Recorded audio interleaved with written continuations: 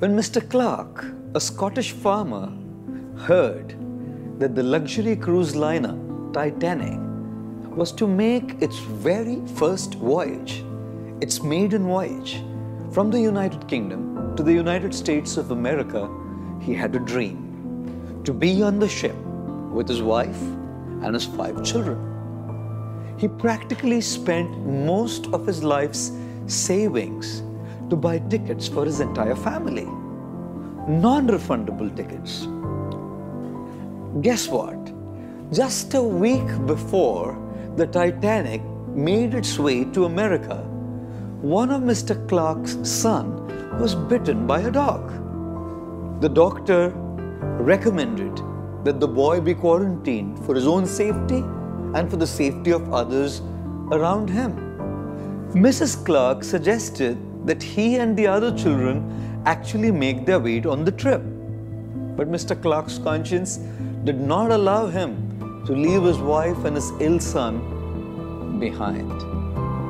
Wednesday, the 10th of April, 1912, as the Titanic sailed forth from the Southampton port in Hampshire, England, Mr. Clark stood there crying tears of disappointment and frustration.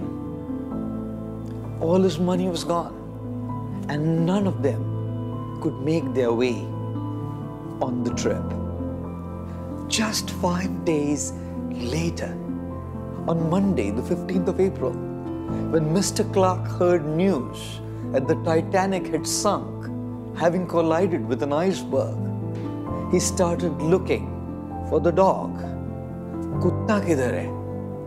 कुत्ते को माला पहनाना पड़ेगा कि पूजा करनी पड़ेगी, प्रणाम करना पड़ेगा।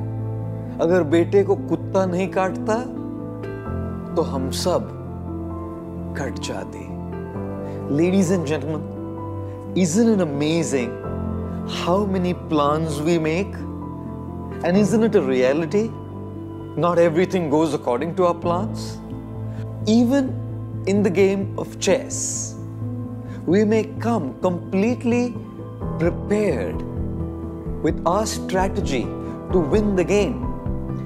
We may even make our moves thinking that everything will go according to what we had decided and planned. The reality, however, is once we have made our move, we have no control over the moves that the opponent will make. We have no idea that the opponent has also made his or her plan. Whether it's the game of chess or the game of life, not everything goes according to what we had envisioned in our lives.